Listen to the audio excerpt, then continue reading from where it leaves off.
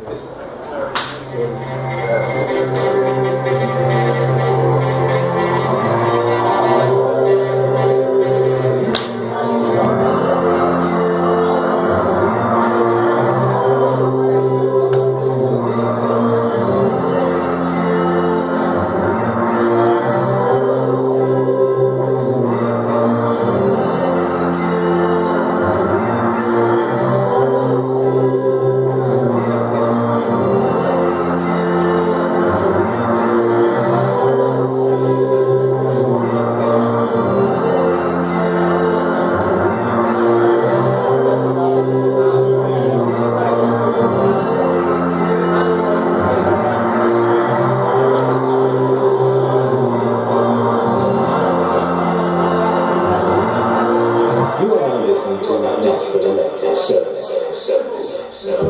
Thank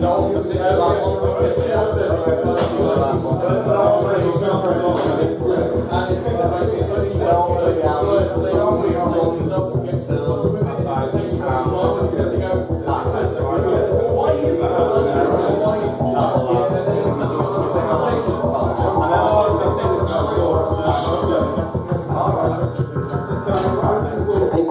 United States and their friends and allies will not from the mercy and outlaws that threatens the peace of the international